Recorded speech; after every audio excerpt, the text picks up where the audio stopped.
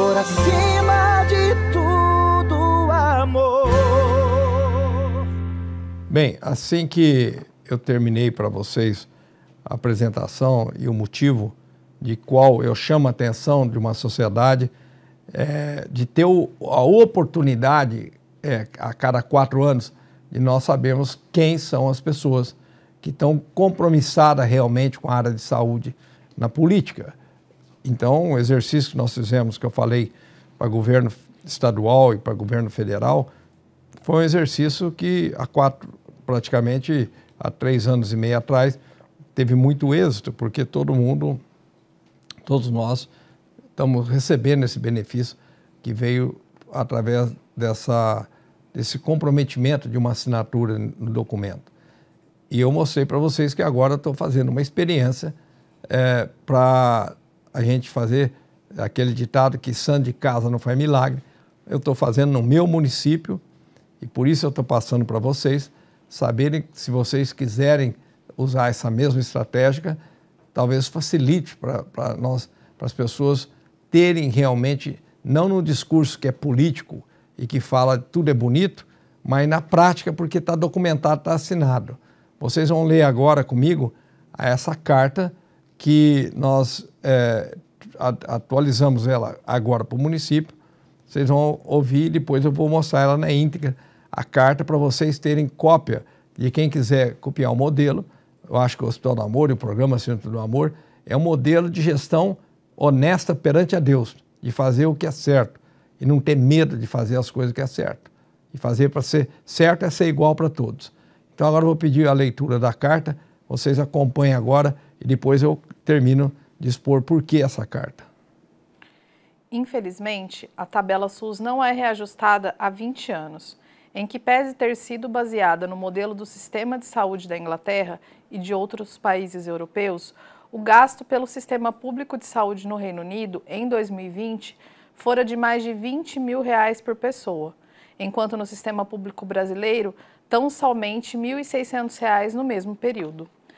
De acordo com pesquisa recente do Fórum Nacional das Instituições Filantrópicas, a defasagem da tabela SUS, lista de valores pagos pelo governo por procedimento, está seis vezes abaixo do valor de mercado. Assim, o atual modelo de financiamento culminou com o déficit médio entre o custo na assistência SUS e a receita proveniente desses atendimentos superior a 65%, conforme observação da Confederação das Santas Casas e Hospitais Filantrópicos. É inadmissível continuar a aceitar essa triste realidade como se fosse algo normal e imutável. A população barretense ultrapassa a marca de 120 mil habitantes, sendo certo que mais de 70% dependem exclusivamente do SUS. Essa situação de desrespeito com as instituições e de total descaso com a população barretense não pode continuar. Em memória ao legado deixado pelo arcebispo emérito de São Paulo, Dom Cláudio Umes, devemos nos lembrar de sua frase sussurrada aos ouvidos do recém-eleito Papa Francisco em 2013: Não se esqueça dos pobres. Desta forma, as instituições abaixo assinadas fazem também este apelo a você não se esqueça dos pobres. Suplicamos que, em seu plano de governo, em relação à assistência de média e alta complexidade do SUS, considerando o histórico de Barretos e as evidentes necessidades da população, assim como a fim de assegurar a manutenção do excelente trabalho oferecido à população de Barretos, seja inclusivo, de forma clara e transparente, o seguinte compromisso: direcionar mensalmente a importância de 2 milhões à Santa Casa de Misericórdia de Barretos, a fim de que seja aplicada no segmento da saúde, visando preservar a manutenção e excelente atendimento já prestados. Referido compromisso nem de longe e suficientes para corrigir as injustiças decorrentes da enorme desigualdade de acesso à assistência em saúde, observada entre uma pequena minoria privilegiada e a grande maioria da população barretense. Entretanto, é um passo importante na direção correta, uma vez que representa uma singela amostra de sua boa vontade para com as, os necessitados e os desfavorecidos. Por meio dessa demonstração de espírito cristão, nos comprometemos, caso venha a ser eleito, que seu governo receberá a bênção e o apoio das entidades abaixo assinadas, que se comprometem a contribuir com a vasta experiência de cada uma para o desenvolvimento das políticas públicas, que atendem às necessidades da saúde e das instituições ao longo de décadas, respondem pela assistência à saúde da maioria dos barretenses. Que possamos trilhar juntos este caminho de solidariedade e de amor ao próximo nos anos que estão por vir. Eu acho que a carta é um pouco longa, mas eu fiz questão de, de demonstrar o tamanho da, e a fórmula que nós é, escrevemos é, com avaliação jurídica, com, com absoluta certeza que tudo é de direito. Absolutamente tudo é de direito. Por que, que eu estou fomentando e passando a consciência das pessoas que não é por má fé, grande parte não é por má fé que um, um prefeito, por exemplo, é, analisa que o, o médico, o médico que recém-formado pode, ele pode dar plantão, então ele pode atender num, num, num posto de saúde, na, numa OBS, ele pode, um médico de transição que está fazendo é, de, de nenhuma formação a respeito de saúde e família, possa, é, porque ele está fazendo, está é, se preparando, estudando para um concurso público, que ele possa dar assistência na, na saúde e família, naquela área que ele não tem conhecimento, e aí é a grande, o grande erro da, da medicina. E atrás de toda essa, essa, essa condição de entender o que significa você, é a mesma coisa que se você for fazer um exame de coração com um ortopedista, qual a especialidade, qual o conhecimento profundo que ele tem daquilo? Não acerta. Vou citar um exemplo para todo mundo saber aqui que vocês não vão acreditar.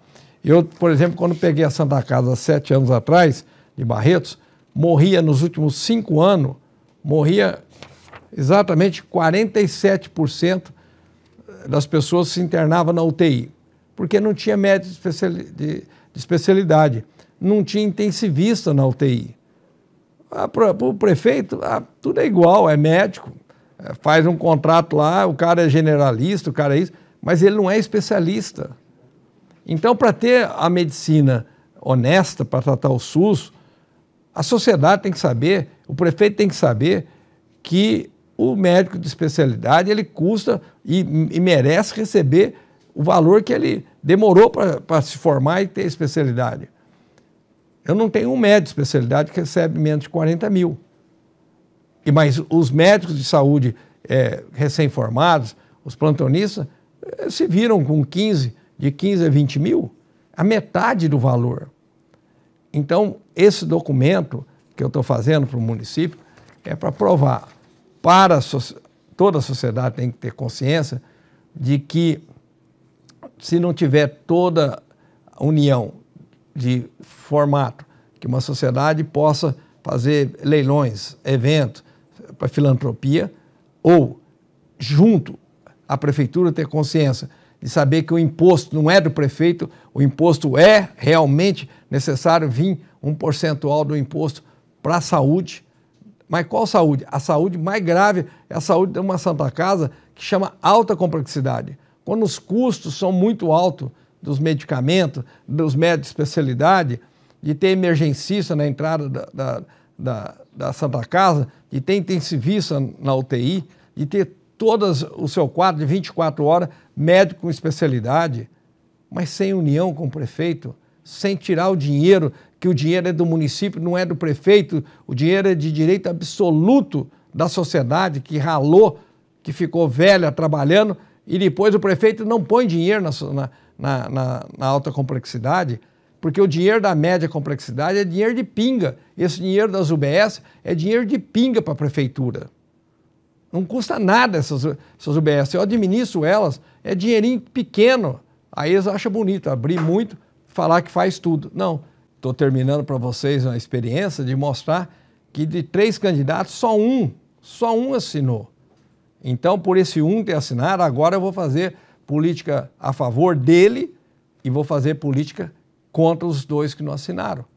Como, como cidadão, como ser humano, como cristão, está explícito que só vai vir dinheiro através de um. Então é um que esse tem amor pela dor e pelo sofrimento dos mais necessitados. É por ele que agora nós vamos mostrar para vocês ele assinando o documento e os demais não quiseram. Então agora, politicamente, nós vamos ser contra. Assim